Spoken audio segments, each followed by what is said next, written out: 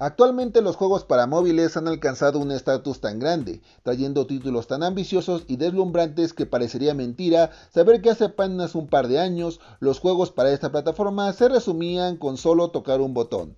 Cada nuevo título que llega viene con cosméticos muy atractivos para todos los gustos, o en algunos casos los títulos son de paga, y ya sea por falta de recursos o porque simplemente el usuario final no quiere gastar dinero en artículos dentro del juego, optan por una práctica relativamente normal.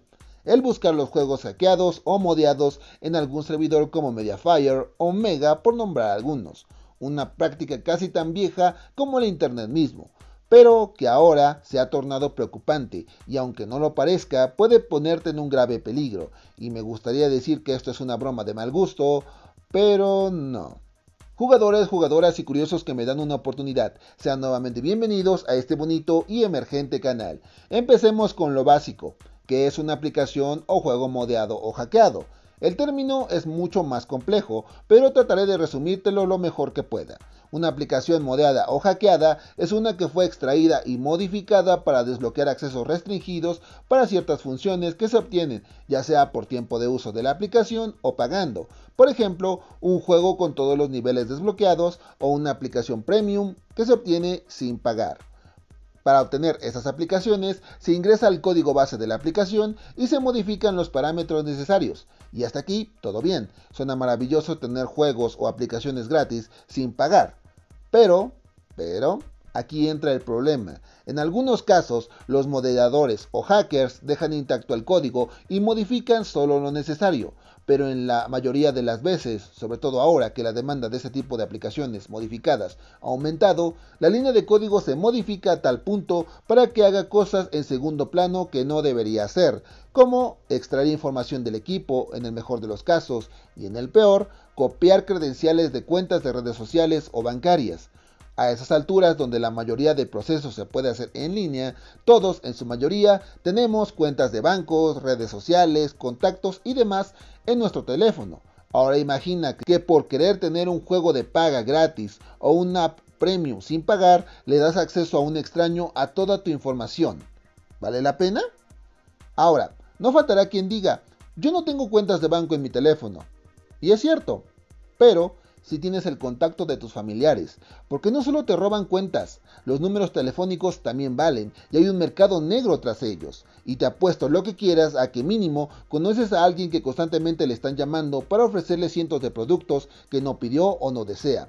O en el peor de los casos, que intenten extorsionarlo, porque la delincuencia en ese sector cibernético ha ido a la alza recientemente por gente que quiere algo gratis en Internet y sin querer permitió que alguien viera toda la información, contactos, fotos, mensajes y demás. Recuerden que hay una ley incrementable en Internet. No hay nada gratis en Internet. Nada gratis. No hay apps que te den diamantes, code points o la moneda de tu juego favorito gratis. No hay aplicaciones que te den internet, series, películas, música y demás gratis. Nunca lo olviden. Ahora, en el título puse Mediafire, pero ¿este portal es malo? No, porque Mediafire es una página de almacenamiento donde cualquiera puede almacenar lo que guste. El problema radica en la gente, sobre todo aquí en YouTube, porque no me vas a dejar mentir que en alguna ocasión tocaste el link de un video con promesa de llevarte a Mediafire por un programa o archivo, pero la dirección te mandaba a otro lado y luego a otro y luego a otro y ve tú a saber cuántas páginas abriste y nunca llegaste a donde querías. Lo cual puede ser muy peligroso, porque hay malwares que se encuentran en anuncios o en páginas que se cuelan en tu navegador sin que te des cuenta. En PC es un poco más sencillo detectarlos con antivirus o bloqueadores, pero en Android no es tan fácil. ¿Eso significa que Internet está lleno de virus y no puedo tocar ni descargar nada?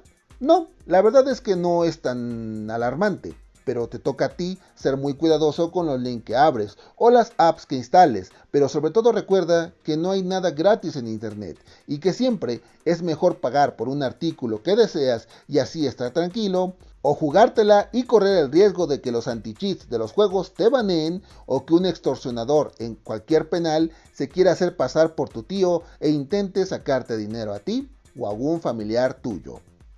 Pero bueno, yo ya cumplí con informarte. Al final, la decisión siempre será tuya. Tú eres libre de instalar o ver lo que tú quieras. Mientras tanto, yo te dejaré otro video por acá arriba para que me sigas apoyando si lo deseas. Por lo que yo soy su tío Kruger, deseándoles buenas partidas y diciéndoles hasta la próxima.